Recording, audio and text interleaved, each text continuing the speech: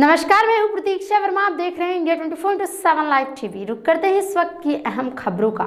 उत्तर प्रदेश के आगरा स्थित श्री पारस अस्पताल के संचालक को मॉक ड्रिल के दौरान मरीजों की मौत के मामले में डीएम ने क्लीन चिट दे दी है। जी हाँ, संचालक डॉक्टर अरिंजय जैन को डीएम ने मामले में पूरी तरह से क्लीन चिट दिया है। इस मामले में जनप्रतिनिधियों ने सवाल उठाए हैं और मामले की शिकायत मुख्यमंत्री योगी आदित्यनाथ से करने की बात कही है। आपको बता दें कि जाँच रिपोर्ट में 16 लोगों की मौत स्वीकार की गई, लेकिन अस्पताल संचालक को मामले में जिम्मेदार नहीं माना गया है।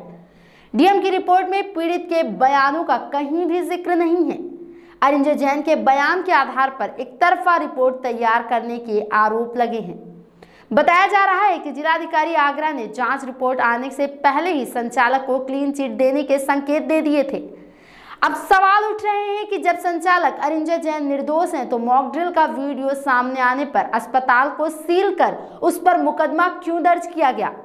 सवाल यह भी है कि जब जिलाधिकारी पहले मॉक ड्रिल की वजह से चार मौतें होना बता रहे थे तो जाँच रिपोर्ट में 16 मौतें क्यों स्वीकार की गई? डीएम की पूरी रिपोर्ट में वीडियो वायरल करने पर ज़ोर रहा, लेकिन एडीएम को दिए पीड़ित के बयान का ज़िक्र नहीं किया गया।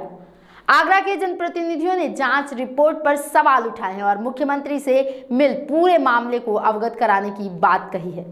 आपको बताते चलें कि श्री पारस हॉस्पिटल के एक वायरल वीडियो से हड़कंप मच गया था।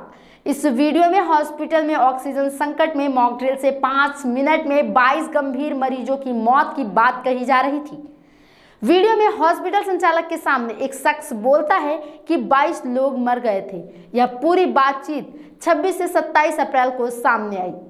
ऑक्सीजन संकट के संदर्भ में थी।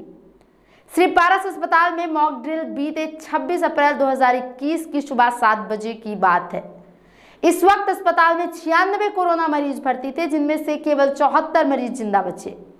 अस्पताल के संचालक डॉक्टर अरिंजय जैन ने चार वीडियो वायरल किए।